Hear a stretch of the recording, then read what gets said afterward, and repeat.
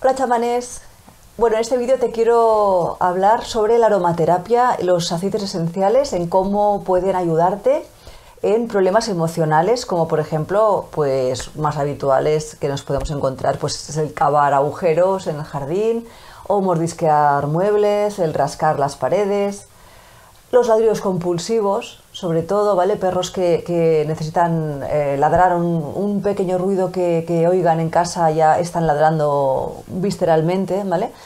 Entonces, ¿Para qué sirven los aceites esenciales? Bueno, sirven para un montón de cosas, sirven para equilibrar las emociones, emociones de, todo tipo, ¿vale? Pero en este caso hoy nos vamos a centrar en este vídeo en el tema de la ansiedad. Hay mm, diversos eh, aceites que nos pueden servir, el más conocido quizás es, eh, es, el de la lavanda, ¿vale? Que es el quizás el, el que más se suele utilizar pero al final es el perro el que va a elegir mm, de, todo, de todo el maletín de aceites que tenemos, pues cuál es realmente el que él eh, se conecta más, en, en, qué, olor, ¿no? a través del olfateo, en qué olor se conecta más en cada momento, para también decirnos realmente qué, qué problema emocional está teniendo, ya que cada planta eh, trabaja una emoción determinada. Eso es interesantísimo en el, tema de las emociones, el tema de las modificaciones de conducta y la educación canina, ya que eh, al ser el perro el que elige cuál es el aceite, en lugar de nosotros dar por sentado que, por ejemplo, la lavanda pues, es relajante y le va a servir a mi perro para los ladridos compulsivos,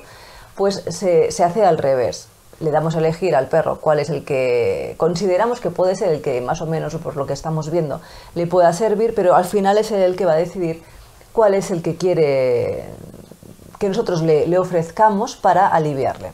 Los aceites esenciales van eh, fenomenal realmente para equilibrar las emociones, de hecho, tanto de personas como de, como de cualquier animal. Pero en el tema de, los perros, eh, sí que quiero decirte que lo primero aparte de trabajar con aceites esenciales, hay que buscar cuál es el motivo realmente que está provocando esa conducta.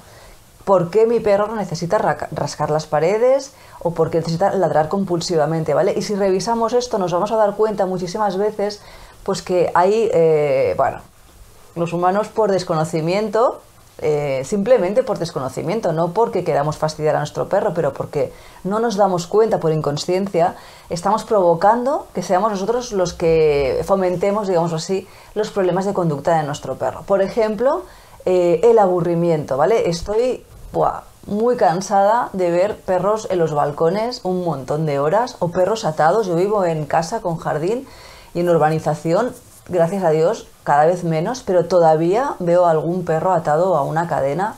Hoy tengo que decir que esto ya en la nueva ley, eh, por lo menos en España, en la nueva ley de bienestar animal, se considera un maltrato. ¿Vale? O sea, tener perros atados o perros en balcones más de dos horas se considera un maltrato. Entonces, ya sé que mm, quiero pensar que nunca es desde, desde luego desde el punto de vista de que quiero fastidiar a mi perro, pero que sí que si no nos damos cuenta simplemente por empatía de cómo te sentirías tú si estuvieras pues un montón de horas solo en casa o eh, recluido en un espacio muy pequeño como puede ser un balcón o una terraza, eh, entenderás que por aburrimiento al final nos acabamos trastocando. Las emociones se desequilibran y, bueno, y aquí habría que hacer pues, un trabajo de, mm, de valoración global de cómo es la vida del perro para ayudarlo explicándote a ti qué cosas puedes cambiar tú para mejorar la vida de tu perro. Eso para mí es lo esencial. Lo primero de todo, cuando hacemos una visita de, a domicilio, ¿vale? Para, ver el, tema del comportamiento, lo primero es revisar cómo es la vida que tú tienes con él, cuáles son tus rutinas con él, para ver si realmente le estás pudiendo eh, aportar equilibrio emocional simplemente con el día a día y después qué problemas de comportamiento derivan de lo que está ocurriendo en casa y de ahí qué herramientas tenemos. O sea, fíjate tú que los aceites esenciales es la herramienta al final, es una de las herramientas que utilizaríamos para ayudarnos a reequilibrar eh, las emociones de tu perro para que deje de tener esos problemas que a ti te molestan tanto como los ladridos, eh, destrozarte los muebles, eh, romper los, los sofás,